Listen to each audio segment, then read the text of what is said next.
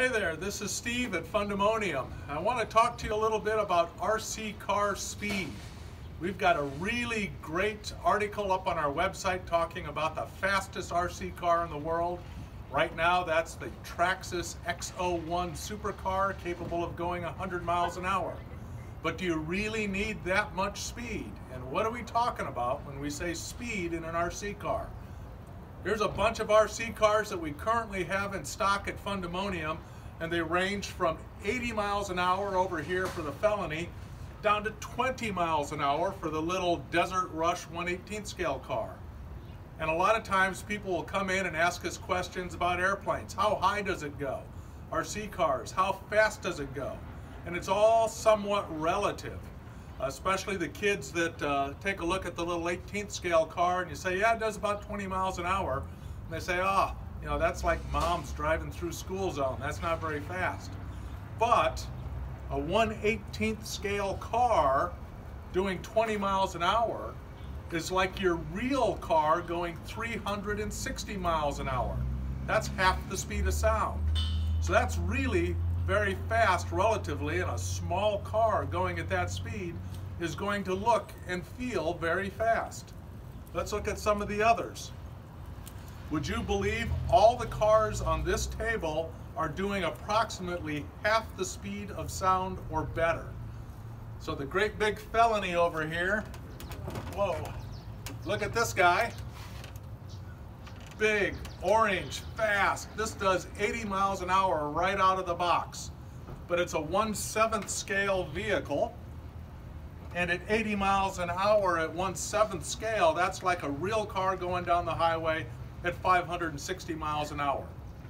That's the same for this guy, the Team Corally Dementor stunt truck. It will do 70 miles an hour, and it's a 1 8th scale car.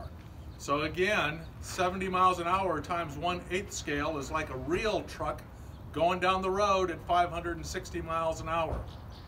Here's a popular one for us. This is the uh, Traxxas four-wheel drive um, Rustler. This car will do over 60 miles an hour. And at 60 miles an hour, this is a 1-10th scale car. And that's like driving something at 600 miles an hour if it were a real car. That's just crazy, crazy fast. So especially if you're getting started, it's one of your first cars or you're looking for a car for a youngster, you might not necessarily want to go crazy fast, though crazy can be fun. But we've got cars like this. This is the ARRMA Senton, but it's got a brushed motor, so it's a slower speed motor. Uh, it brings the price down on the car a lot as well, but this car will do over 30 miles an hour. Now a 1 10th scale car, 30 miles an hour, that's like the real car doing 300. So we're still talking about a really fast experience with driving your RC car.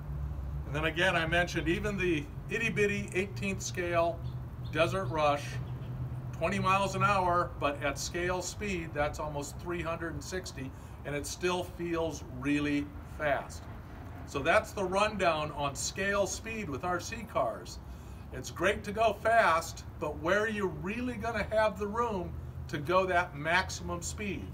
And if you've got a smaller space, uh, like you're driving out in front of your house, you're driving at the schoolyard, a lot of times smaller uh, cars and slower speeds can be a lot more fun and still feel like you're going crazy, crazy fast. So thanks for watching. This is Steve at Fundemonium.